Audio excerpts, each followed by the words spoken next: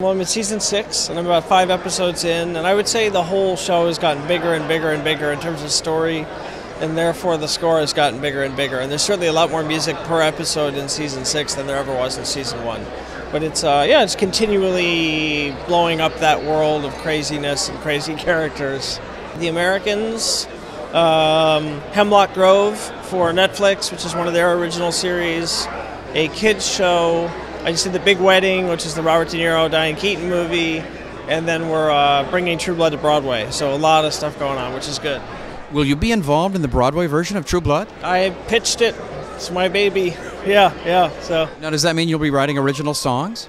yeah, Elizabeth Scott and I have collaborated on a couple songs uh, in the show. Are going to be doing that. So over the next couple of years. It's as you probably know, it's a it's a long process.